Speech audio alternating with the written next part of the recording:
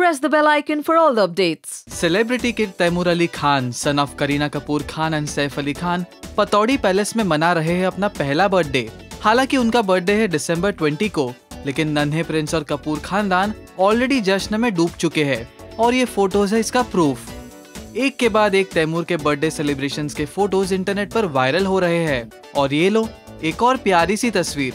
तैमूर की मासी करिश्मा कपूर ने एक नई फ़ोटो शेयर की जहाँ तैमूर ट्रैक्टर पर बैठकर गाँव की ज़िंदगी का मज़ा उठा रहे हैं, वो भी पूरी फैमिली के साथ। उन्होंने लिखा enjoying the village life hash tag family over everything hash tag family goals hash tag birthday count down hash tag Pataudi diaries well Pataudi diaries बनाने का जिम्मा मानो करिश्मा कपूर ने ले लिया है, क्योंकि अब तक इस प्री बर्थडे बैश की सारी तस्वीरें उन्होंने ही शेयर की है।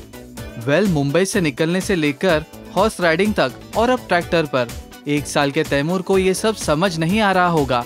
लेकिन उनका पूरा परिवार इज़ मेकिंग श्योर कि उनका पहला बर्थडे होना चाहिए grand for the whole world to get talking about it बस अब इंतज़ार नहीं हो रहा है कि कब तैमूर अपना पहला बर्थडे केक काटे। बॉलीवुड नाव की ओर से तैमूर को हैप्पी बर्थडे आप भी अपने विशेष कमेंट्स के ज़रिए हमें बताइए।